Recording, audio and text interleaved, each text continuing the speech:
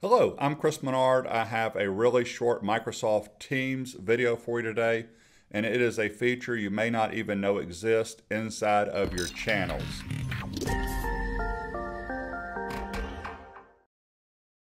So I've already got Teams pulled up and I'm on Teams over there on the sidebar. I'm in the website and video team and I'm in the newsletter channel. So here's the issue. We're in here and we're having conversations and we're posting stuff and people are doing threaded replies, well, as you continue to post, stuff gets moved up because when you post, you're down here at the bottom, new conversation. Well, occasionally there are posts that people that are new to the team or people that are already on the team need to quickly find. So I'm going to make it easy for them to find. So here's an example. I didn't have to scroll up too far to find this but sometimes I've had to scroll way up. So what I'm going to do before I even do this is up in the top right for every channel, it says show channel info. This can show you all the members of the team if you want to see them. And it shows you some updates over here. So I'm just going to collapse that for a second. So the feature is this. When you have a post inside of a channel that's really important, you can click on the three dots.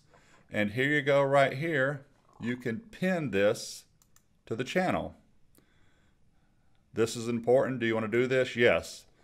Now you just need to instruct people whenever they pop into a channel, if they want not only want to see who's in the channel and what the channel is about, there are the pinned post right here. Really cool feature.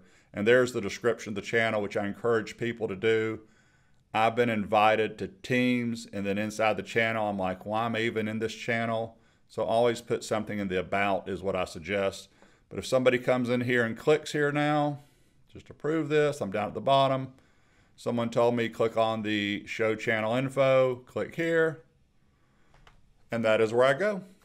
The same way, and by the way, there is the icon. The same way you put it in here, you can unpin it. There you go.